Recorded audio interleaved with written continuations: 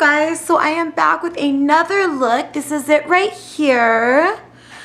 So as you can see, it is super vibrant, really pretty. I am, I mean, this is something I would wear on the daily and I'm pretty sure maybe most of you would wear, but it is really, really pretty. I hope you guys enjoy the tutorial. It wasn't very hard to achieve at all. Um, I've been doing voiceovers. I hope you guys are getting used to them. I hope you like them. It's a lot easier for me to do a voiceover because my kids are always so crazy, so loud, so rowdy. So it's much easier for me to like, like do the voiceover while they're sleeping so you guys don't have a bunch of chaos in the background. But yeah, so that's about it. Um, that's it. Let me get closer so you guys can see the look. I have this really cute headband on. My hair is kind of curled. I have just an old navy t-shirt on, kind of boring.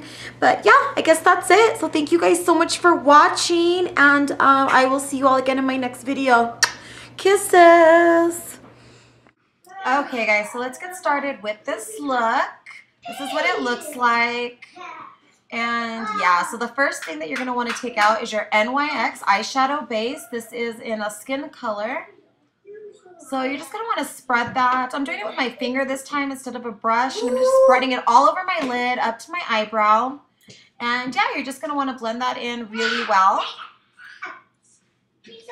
And the next thing you're going to want to take out, this is a paint pot from MAC. It's called Chilled on Ice. And it is really super sparkly. It's like gold. The camera doesn't really do it justice. It's really pretty. So what you're going to want to do is stick chilled on ice and put that on your lid. We're going to go ahead and get a flat brush to do that with. It's a MAC 239. You can use your finger or flat brush, whatever you have. And just go ahead and just pack it on. Okay, so I'm going extremely fast here, just kind of fast forwarding it. I got a little bit on my finger and I'm just packing it on top of the other layer. Okay guys, so now we're going to take this pigment and this pigment is called Frozen White. It's a MAC pigment. You can find it at any um, freestanding store or you can order it online. But it's a really gorgeous, almost like snow color and when you apply it, it's really opal-esque. So it has a beautiful kind of like a blue tint to it. So you're just going to get your 239, any type of flat brush, and you're just going to make sure and pack it on the lid. Be really careful because more than likely you're going to get a bunch of fallout. Um, it's well worth the fallout though. It's easily to get cleaned up, but it's a beautiful, beautiful pigment and it looks gorgeous on top of chilled on ice. So you're just going to want to pack that on, get it in the corner of your eye. It's going to help your eye just look awake and bright. Okay, so that's how it's going to look right now, or that's how it should look. So next we are going to take, I'm looking for my brush, sorry guys. This is a really nice shading brush, a blending brush. You're gonna wanna take that and just kind of blend out that pigment. And I'm just wiping away some fallout right now, so it's super easy to take off. So the next thing that we are going to want to take out is our purple. This is number 92. This is my absolute favorite purple. This is for Makeup Forever and it is a true purple. I love this color. So I'm just going to get my blending brush and just get a decent amount on there. Just kind of top off the excess. And we are going to start in circular motions on the outer corner and windshield wiper motions as we go to the inner corner. So just take that and go back and forth, you guys. Just blend it kind of in an upwards motion, circular, windshield wiper motion, however you're comfortable with blending. And this is how it should look at this time. So now we're going to want to take out, uh, this is called Good Match. This is from Jordana. We are going to use that really soft uh, beigey color and we're going to use that as our highlight under the eyebrow. I'm using a very flat two-sided brush. This is an old brush I got from Claire's years and years ago. So I'm just tapping off my excess and I'm going to stick that beigey color right underneath my eyebrow. This is going to give a really nice um, highlight. So yeah, you're just going to want to place your color there. You don't have to blend it, just kind of place it and it should look like this. So now we're going to take out our a Duo. This is a Duo palette. This is from um, Dynamic Duos is what it's called. This is from uh, MAC. Sorry, I keep pointing to the wrong one. You're going to want to use that really soft baby pink. If you have a color like yogurt from MAC, that's really, really similar. That may even be yogurt. Actually, that's kind of too pink, but so you're want to take that baby pink and that one, that color is going to go on top of our purple. It's just a gradient effect. The purple is going to go into the pink And I've told you guys plenty of times, um, you never want to see where one shadow ends or one begins. You always want them to flow right into each other. And that's exactly what this is doing. The purple is flowing into the pink. So it looks really nice. So now we're going to want to take out this color. It's called Royale, and it's a matte blue shade.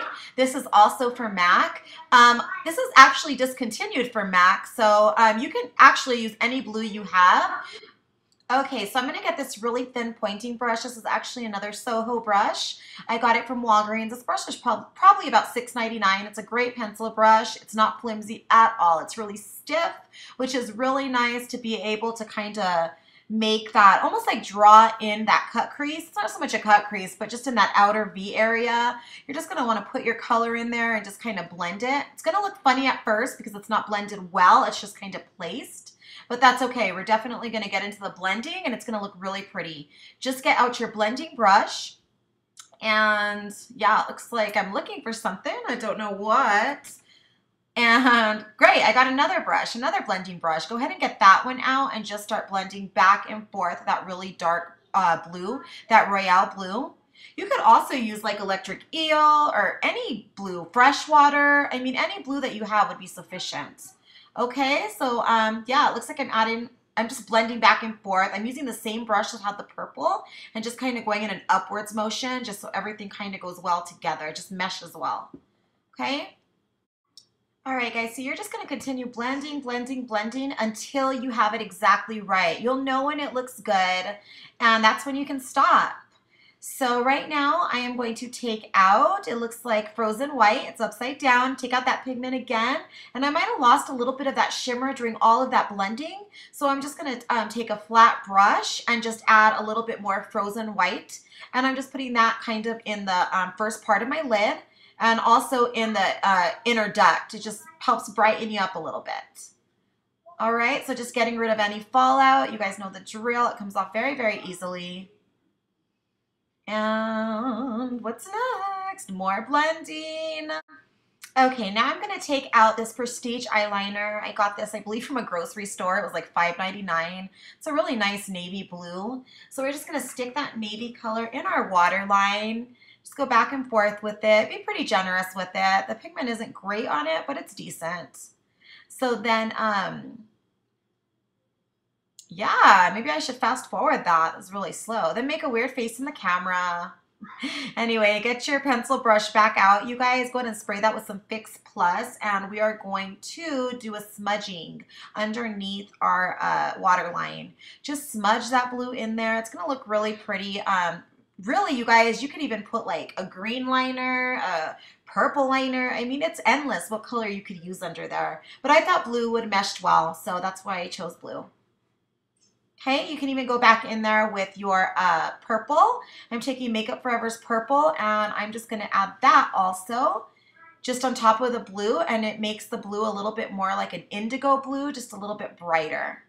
Okay, now time for our wing liner. So I'm just going to go ahead and uh, spray my eyeliner brush with some Fix Plus because I use a cake liner. So I have to spray it first because it dries out. And when I spray it, I'm able to apply it. So I'm probably going to fast forward through this because it's kind of bore snore.